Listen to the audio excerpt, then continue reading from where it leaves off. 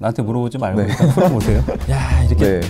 많이 틀리기도 쉽지 않은데 혹시 대한항공에서 어떻게 들어왔어요? 뭐 이미 들어왔으니까. 기업들이 네. 탄소 중립을 이행하는 과정에서 규제를 겪고 있다고 해요. 그래서 간단하게 문제로 준비해봤어요. 음. 자신 있어요? 몇 문제나 맞출 수 있을 것 같아요? 아, 네 개까지 한번 해볼게요. 그렇게 쉽지 않을 네. 텐데 한번 해보시죠 그러면. 네, 좋습니다.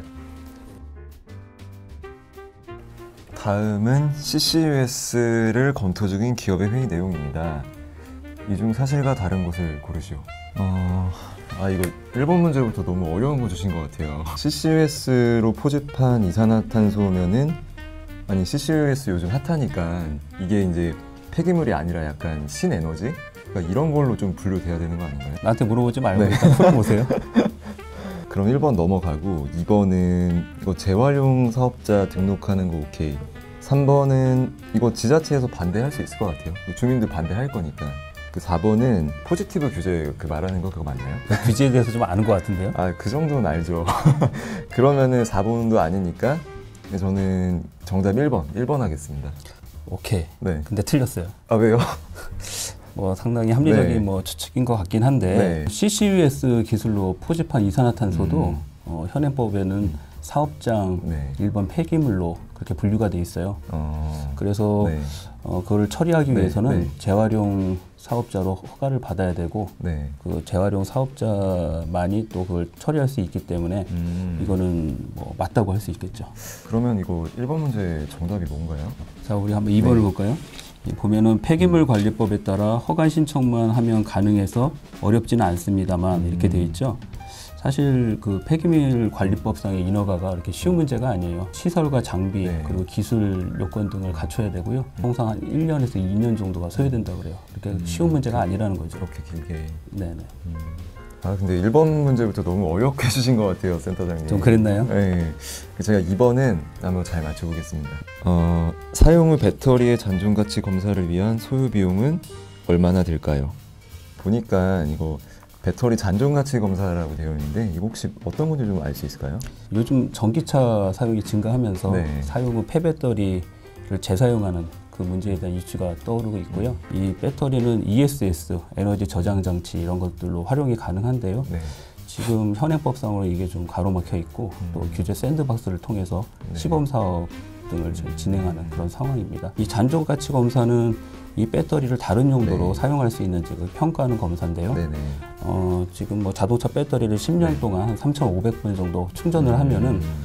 잔존 용량이 한 80% 정도 그렇게 네. 남는 걸로 그렇게 알려져 있어요. 어, 근데 보기를 보니까 이거 검사 비용이 되게 비싼가 봐요 이거 제가 감이 좀 안 와서 그런데 좀 힌트 하나 주실 수 있으세요?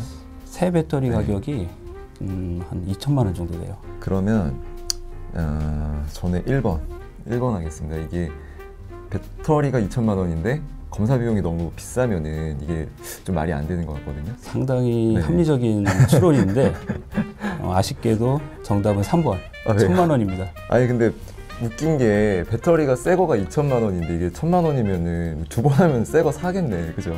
그렇죠.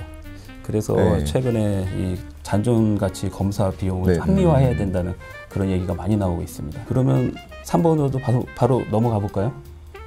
네. 사용 후 배터리가 재사용되기까지 적용받는 법규의 개수는 몇 개일까요? 3번도 보니까 이게 배터리 재사용 관련된 문제인가 봐요. 네, 맞아요. 사용 후 배터리가 재사용되기까지 적용받는 법규의 개수가 한 몇 개 정도 될까요? 아 이거 제가 좀 감이 오는데 뭐 어쨌든 규제 때문에 어렵다는 거잖아요, 그죠? 그렇죠. 그러니까 규제 제일 많은 거 4번 할게요. 아, 네. 드디어 맞췄군요. 아, 맞아요. 아, 저도 기쁩니다.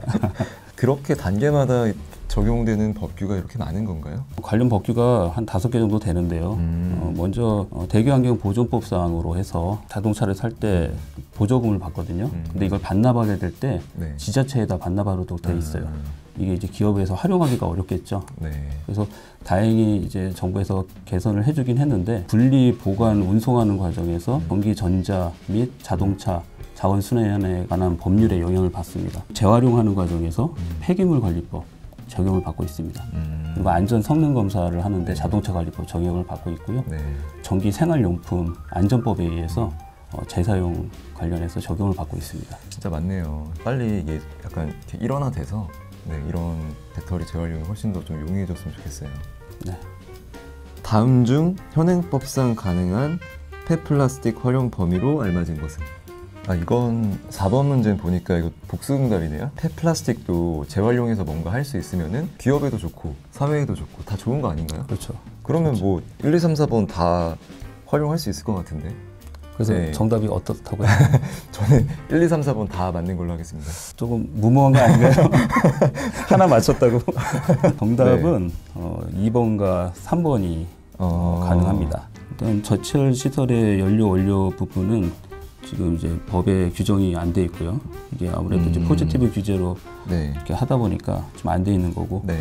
열분해 공정을 거친 석유화학 제품의 원료로 사용하는 것도 현재는 지금 안 되고 있어요. 아니 그 뭐 특별한 이유가 있나요? 이게 뭐 기술적으로만 되는 거면은 이거 뭐 1, 2, 3, 4번 다 이렇게 허용해 주는 게 맞지 않나 싶어가지고 그렇죠. 이 네. 폐플라스틱을 감소하는 것에 네. 탄소 중립에 도움이 되기 때문에 이 폐플라스틱을 어, 이용하는 그런 음.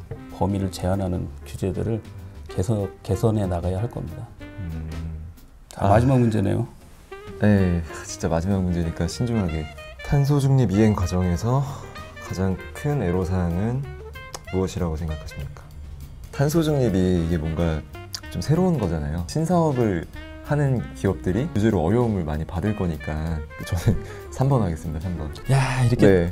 많이 틀리기도 쉽지 않은데 기회를 줬는데도 사실은 네. 이 1번부터 5번까지가 모두 네네. 이제 기업들이 겪는 애로사항이에요. 한 50% 이상이 음. 복잡 까다로운 행정 절차 네. 이렇게 얘기를 했어요. 네. 아까 우리가 얘기했던 그 폐 배터리 네. 그 문제도 음. 어떻게 보면 상당히 복잡 까다로운 네. 행정 절차하고도 연계가 돼 있죠. 회사에서 행정 절차 하는 거 되게 귀찮거든요. 근데 이거 뭐 탄소 중립 이행하는 기업들 담당자도 뭐 비슷한 마음이겠죠. 또 우리 팀장님 들으시면 안 되는데.